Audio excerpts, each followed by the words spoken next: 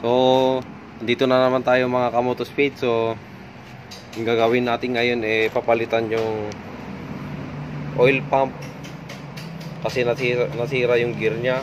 So, ito yung mga ano niya gear na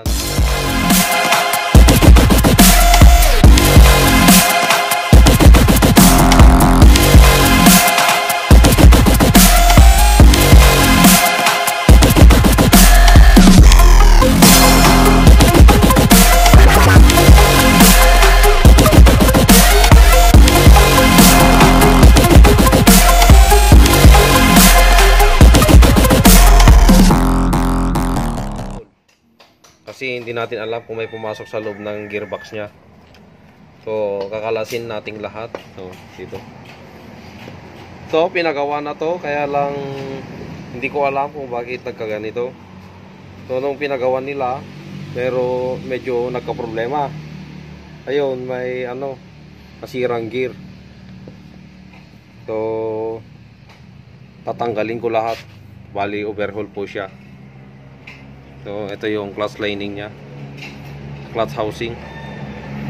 Ito yung lining. Clutch pressure. Yung clutch housing naman to.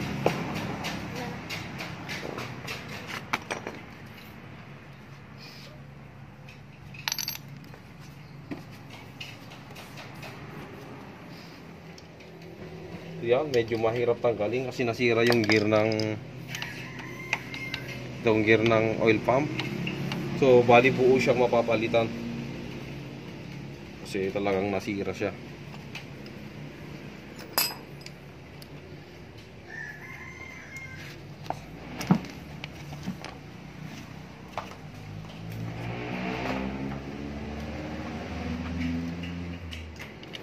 Oo, nasira po yung oil pump. Tapos putol pa yung kick spring niya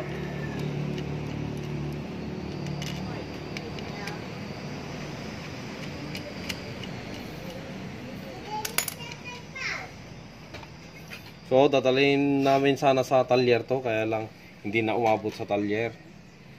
So, hindi na naabot nung ano, nung paggawa. Kaya dumaan sila sa bahay. So, sa bahay ko siya ginawa. Basag na basag. Ito po yung ano niya, gear ng oil pump. So, talagang nadurog lahat. Nadurog yung gear niya. So, babaklasin ka kasi lahat kaya ito, marami kasing baka may pumasok na ano yung tawag nito? Yung ngipin. Ngipin? Aral. Malay ko sa'yo. Ngipin ng gear. So, di natin alam kung marami pumasok kaya babaklasin natin lahat ito. Yan, tapos to. Ito naman yung gear. Drive gear papuntang cross lining sa clutch housing.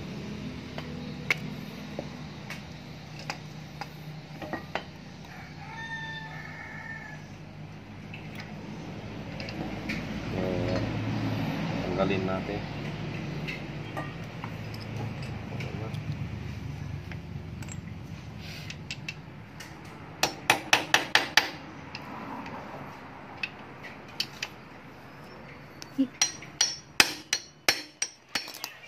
So yan, ayan na po yung DMX. So binaklas ko na po siya. So tapos nagpalit yung spring. Kick spring kasi yung kick spring niya putol. Ito po yung dati niya kick spring. So naputol po siya. Ito po yung putol niya. Tapos yung gear. So napalitan na rin po yung gear niya. So, ayan po. So, bali gear at saka spring yung napalitan. Kasi yun talaga yung natamaan. So, bali yung spring tapos yung gear, eh, bungi-bungi na. So, genuine po yung ano, gear na binili. Ito po yung ano niya. So, may isang libo yung bili nung ano may-ari. Hindi ko lang maalala kung ano, mga 1.3 yata yung bili niya.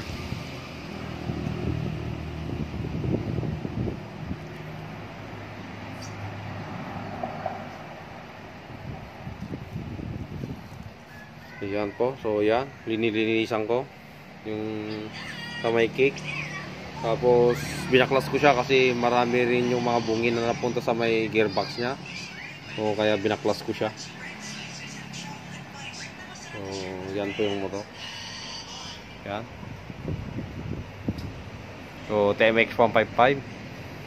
Honda TMX. Yan po. So, mamaya na lang ulit tayo magbibideo kasi nakabideo lang ako kasi wala yung may-ari. So, yan. So, sa susunod na lang sa susunod na video ito na po siya, malapit na siyang matapos. So, natamaan pa pala yung ano niya sa may clutch housing, yung pinaka gear niya, sa drive gear niya. So, natamaan siya. So, nabungi rin pero hindi lang hindi lang makita maigi pero may lamat din. So, yun yun yung pinaka main na maingay talaga sa makina niya. So, bumili sila ng ano yung touch housing para may ilagay. So, hindi ko nakita kaagad na may tama pala yun.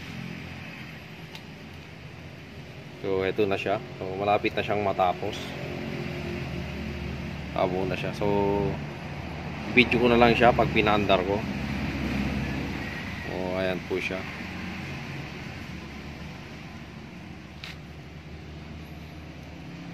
So, sa next video ulit.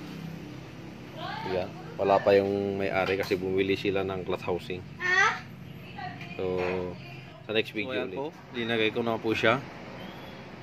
Linagay ko na kasi kasi para pagdating nila, manta nila lang ikabit yung iba. So, yan. Kasi pag hihintayin ko pa, wala na. Ayan, so, sayang yung oras. So, linagay ko na. So, para konti na lang yung gawin pagdating nila.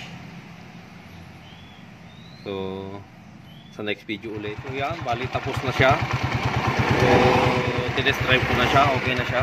Ayos na yung andar. Hindi na siya maingay. So, yan. So, kakatest drive ko lang. Bumalik na yung dating andar niya. Maayos na siya. So, yan. Tapos na rin. So, nahirapan silang maghanap ng ano, yung gear ng clutch housing. Muntik nang walang mahanap sa yung oil pump gear. So, nasira din yun. So, eto na siya. Tapos na siya. Yan. So, nakapag-subscribe dyan, subscribe na at mag-windot yung bell para update kayo sa i-upload kong video. So, hanggang dito na lang. So, yun. Tapos na tong ano, 10X. Tapos na yung overhaul niya. So, also na video na lang ulit mga ka speed. So, subscribe na lang sa mga hindi pa nakapag-subscribe dyan.